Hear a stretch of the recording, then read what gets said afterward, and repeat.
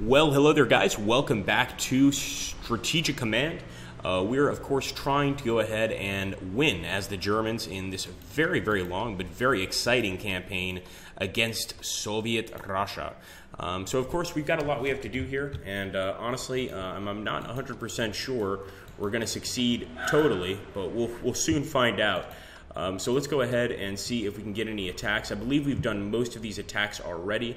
Uh, but I'm just going to take a quick look, make sure we didn't forget any.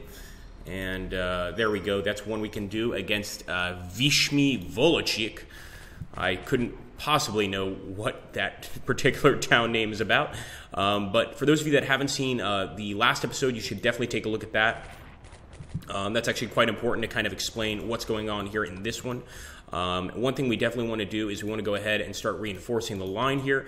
I'm actually going to go forward and try to do some damage, but with that amount of men, probably not the greatest idea in the world. Now, from Luga, uh, I will try to get some bombers out, but like I said, I believe we actually played most of this mission uh, in the last part of this Let's Play, um, or I should say most of this turn in the last part of this Let's Play. So right now we're going to go ahead and end the turn, turn it over to the Allies, uh, and hope for the absolute best. Of course, we still got some submarines over here, a few other uh, ships that we could clearly use.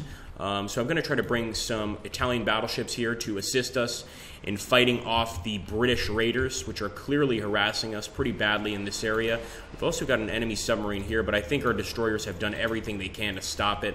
So we'll go ahead and just not worry about it too much um, as best we can. I'll also bring this battleship over. And we will, of course, now end the turn, turning it over to the Allies, but basically just giving ourselves some time uh, to be able to continue next turn. So let's go ahead, let's end this turn. Uh, and let's hope that next turn we get a really, really good attack. So it says here, Grand Admiral, say yes if you'd like our ships to continue sailing through the Gibraltar Strait to the Atlantic.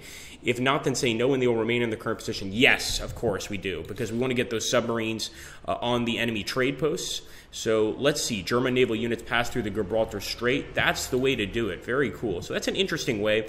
Uh, obviously, we could have sent more um, ships here. Uh, and yes, we also want to send our Italian ships through, although there's only one submarine there. I'm not sure it's going to be able to uh, affect merchant shipping all that much, but at least the idea is there. So Soviet partisans hinder our supply, no surprise there. Foreign minister reports diplomatic success with Turkey. Remember, we're trying to get Turkey to join us. Um, so 14% towards the Axis, and I believe if we get that up to 50%, uh, it would really, really help us. U 37 hit by rough seas. Well, come on, it's a submarine. Just dive, for God's sake. Just dive. I mean, storms don't affect submarines. Come on, people. At least I don't think they do. So here we go. Um, let's see exactly what the Allies are going to do here, specifically the Soviets. So if I were the Soviets right now, I'd try to break out of Leningrad, but look how close we are to Moscow, guys. We're right on the border of the city of Moscow. I mean, we are getting so close. We're also getting pretty close to Stalingrad. Uh, obviously, if we could take Stalingrad uh, very, very soon, that would be huge. I'm not sure if that's a possibility, but I'm certainly going to attempt it. And actually, it looks like what they're doing is reinforcing a lot of their units there on the front line. Probably a good idea. Um, clearly, we've pounded the hell out of their units, and they're going to need some reinforcement one way or another. Um, as you can see, the bombers continue to move in and attack, um, and they're actually doing a lot of damage to our uh, units in the Africa Corps. So, this is something we should probably focus on.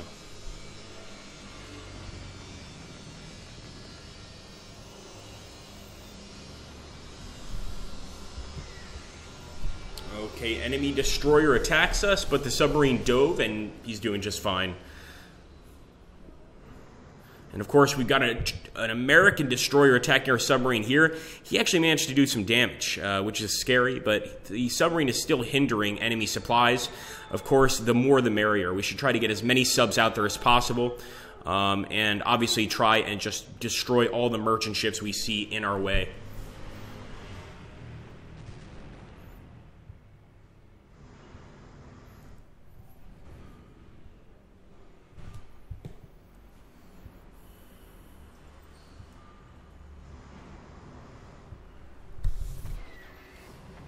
Once again, destroyers finding us, but this time the sub actually fought back a bit. And I guess maybe we should bring some battleships out into the uh, the Atlantic. Uh, I'm not sure how much work that's actually going to be for us, but probably something we want to think about or at least consider. Uh, so let's see what happens with that. Of course, now the enemy is attacking us from Volkhov, which is actually one of our main objectives. And yep, sure enough, they are going to try to break out of Finland. Pretty much makes sense. And they're actually hitting our tanks quite a lot, but I think our tanks are going to fight back pretty well.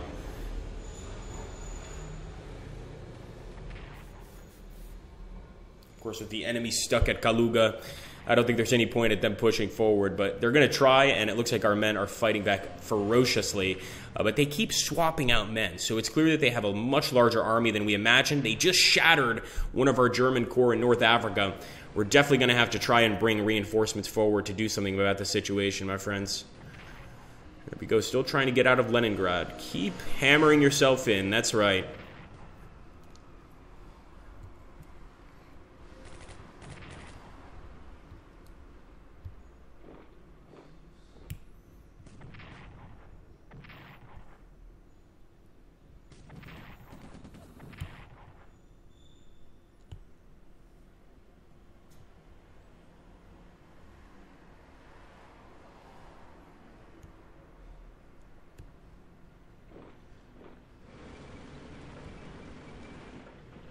All right, that's definitely partisan activity. If you guys just saw that little gap widen up, absolute partisan activity. So we want to take a look at the map because I don't even see where it popped up.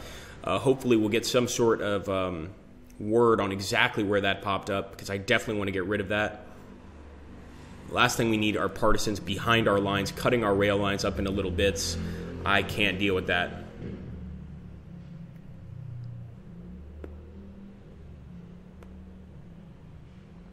All right, French partisans disrupt supply, but of course that's not a partisan group forming. It's just them disrupting supply, pretty much. Um, and of course, the forces of Malta once again are hindering our supply. Axis raiders disrupt Egypt, UK convoys. Brazil declares war on Germany and starts raising a force to fight in Europe. Oh, come on, guys. I thought we were friends. Well, fair enough. Um, I don't think Brazil is going to really provide that much, but still troubling. And of course, we lost the Africa Corps. Now, that's definitely troubling. Um, battleship spotted, fair enough. Okay, Army spotted, and of course, tactical bomber spotted near Philadelphia. Nothing we really have to be concerned about, to be honest with you. Um, what we do need to be concerned about is our actual shipping. We want to try and get our subs in a place where the enemy can't find them. And actually, over here near St. John's uh, would be a pretty good place near Newfoundland. And I'm also going to go ahead and look to see where the rest of our subs are. Remember the ones that just exited the Atlantic. I would assume that they would be somewhere probably uh, west of Portugal, perhaps. Uh, that's, that's where I would think anyway. Let's go ahead and take a look. And sure enough, well, south of Portugal, in any case. Makes sense. Um, so we're going to start sending these guys out immediately. And they are, of course, headed towards those um, allied areas of operation, we can call them, I think.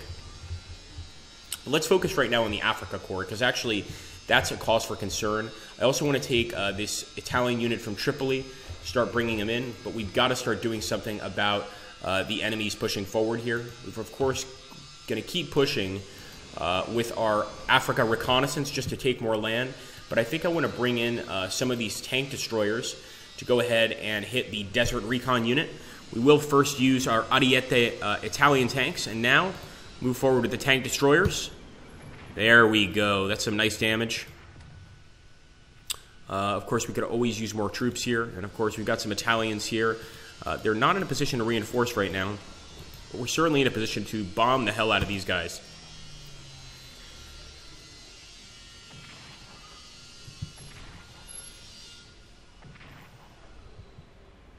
Okay, now something else I didn't even consider until now uh, well, I've been thinking about it, but number one, we could uh, do an amphibious transport with our troops from uh, Athens here in Greece. Of course, we are going to have to bring some Italians down here from Larissa to make sure that we don't have any Greek uh, patriots that decide they want to take back their country. That would be bad. Uh, I also want to see if we can destroy this submarine with our Italian destroyers. Now, it looks like the submarine has got our Italian destroyers beat. There we go. A little bit of damage at least. Although I don't see a single unit that went down there.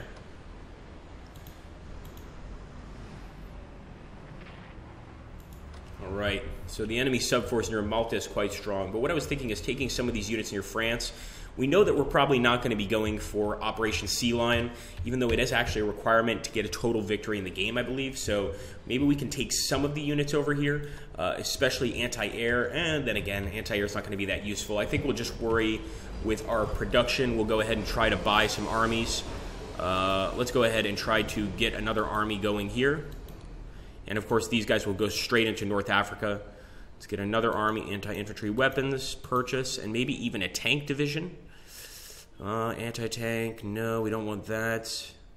Heavy tanks, that's what we want. So give them some advanced tactics, mobility. Now, of course, we're doing this at the cost of MP, which is going to affect us quite a lot. Uh, but we still want to deal with Turkey. We still want to try and get Turkey on our side. They're 41% um, in favor of us, which is pretty good. So we're still investing um, a lot here, and I'm going to invest even more. It would be amazing if we managed to get um, a deal with Turkey and get them on our side.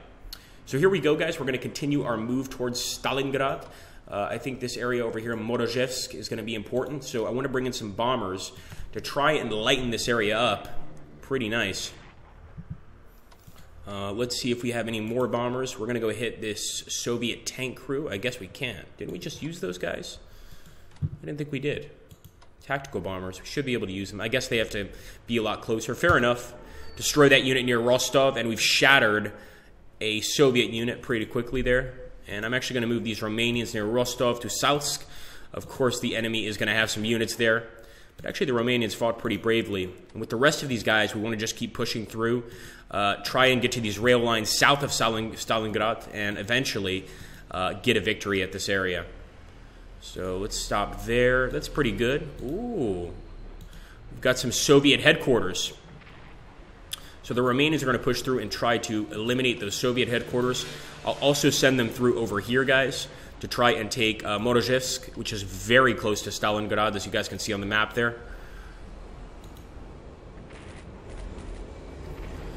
We're really leaving this up to, um, I don't want to call them our lesser brigades, but uh, our not so strong brigades, which are basically our Italian units. Um, and I hope they can they can do an okay job here. We're going to cross the Don with the 17th Army, and I think we're doing some serious damage, but we're going to do even more damage once we get the uh, L1 Corps to Bodolepsk, and look at that. Now we've cut off a bunch of enemies, uh, and there's actually a fighter squadron here, which we definitely want to deal with. But before we do, let's go ahead and uh, might as well destroy that garrison squadron. I don't think it's going to give us a national morale gain, but I really want to try and cut off every single rail line coming in here fire on Tambov. Now, with our armored cars, I'd like to reinforce them, so we'll get max reinforcement, which is only going to be seven. Uh, the good news is, I think that we're pretty close to Voronezh. Though Voronezh is going to be tough to take, believe it or not. Um, first anti-tank. Managed to do some damage, but we're going to take a lot in return. We really want to destroy those enemy tank divisions. And if we can't, we're just going to have to focus on other areas, uh, like Tula, for instance. But right now, all I want to do with Tula and Kaluga is basically cut them off. The longer they are without supplies, the easier it's going to be to destroy them. Let's also deal with this partisan unit. And yes, we're bringing in actual Panzer Grenadier squads to deal with these partisans. That's how much I fear them right now, and it's a 75 national morale bonus. Uh, and obviously, this area, despite being a safe area for runaway partisans, isn't really providing any cover for them. Uh, we'll go ahead and attack Rzhev. And I think with one more attack, Maybe we need some bombers for this mission.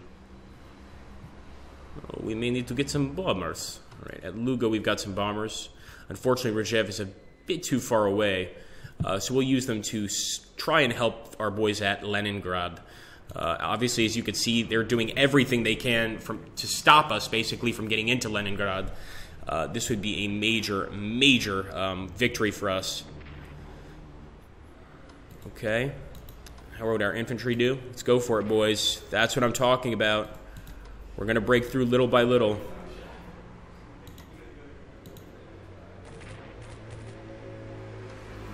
Even going to swap with this infantry right here just so he gets an attack. These guys we definitely have to reinforce. Max reinforcements, which is only going to get them to four. So I'm going to risk losing that army. Just because I see no benefit whatsoever in increasing their points by one. This is what we're doing just to try and get Turkey on our side. Keep that in mind. We're taking a major risk. Maybe not even a worthwhile risk, but a risk nonetheless. Okay, let's see. Hmm. Okay, guys, we're getting very close to Moscow at this point. Um, I will start attacking the air units outside Moscow. Send some more units up there, but of course we've got to take Kaluga first.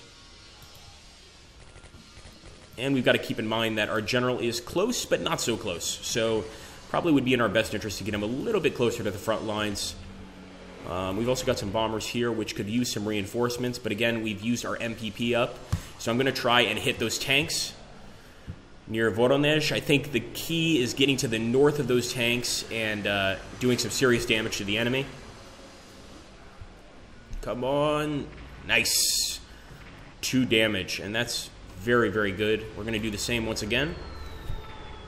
Beautiful. Getting them down to three. Imagine if we could take out an entire Russian tank army here. It would be incredible. It probably won't happen, but at least we're cutting them off. Let's attack again. Beautiful. So already we're doing a lot of damage here to the Russians, and of course I'll be attacking in the south as well here.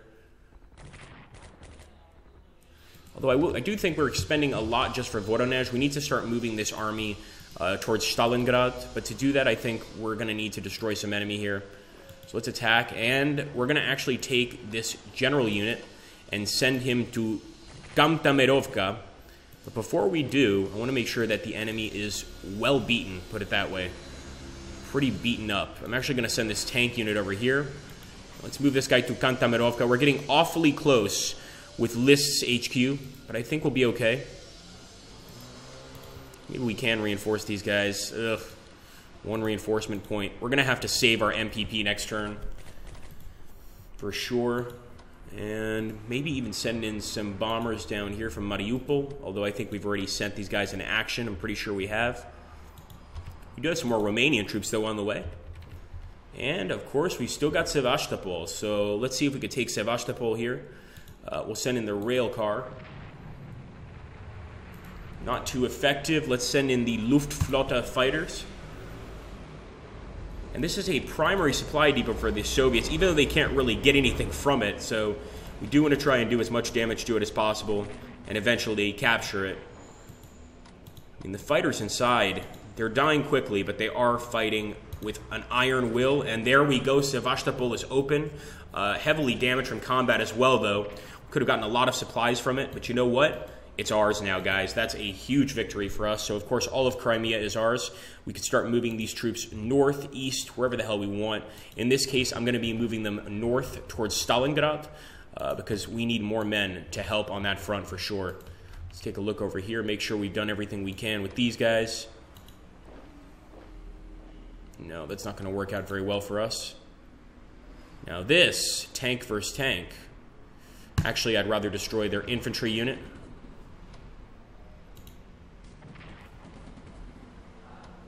I expected that to work for sure.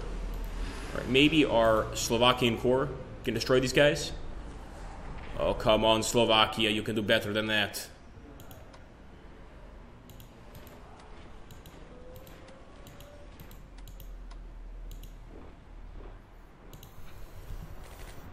So right now the we're getting somewhat stopped, not not bogged down really. I mean, we can still make it, but one thing I'm going to do is send that tank over here, cut off some more rail lines to the enemy. But the enemy is definitely succeeding in, in essentially finally setting up some sort of blockade for our men. Um, of course, near Moscow, we don't have that many men to begin with, but they're not doing terribly bad. Let's put it that way. We want, do want to take a look over here at North Africa. And of course, we want to try and do as much damage to the enemy here. So I'm, of course, going to start attacking this British unit. I'll move this guy back to Mersa Matruh. This artillery division, all we can really do is get a little bit closer. And I think that's going to be it for this turn, guys. Um, I think for now, we need to rely on maybe some uh, some invading forces coming from uh, Greece and other places that can assist us. In the meantime, we really just need to keep on fighting. Uh, in fact, I'm going to totally ignore Novodisk just to try and mess with the enemy rail yards. Uh, because I think every rail yard we cut off here is going to make it really hard for these other guys to get um, supplies from Stalingrad and other areas. And that's obviously one of our goals, is try to cut off their rail supply completely. In fact, in many cases, we want to cut off their armies completely, like right here.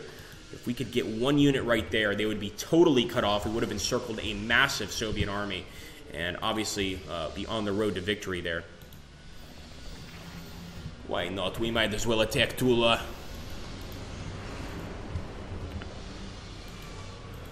Sad we didn't take Rzhev this turn, but I'm pretty sure we'll be taking it next turn. And uh, that's going to be it, guys. I hope you guys are enjoying the series so far. If you are, make sure to hit that like button. Obviously, take a look at the other uh, videos we have in this series.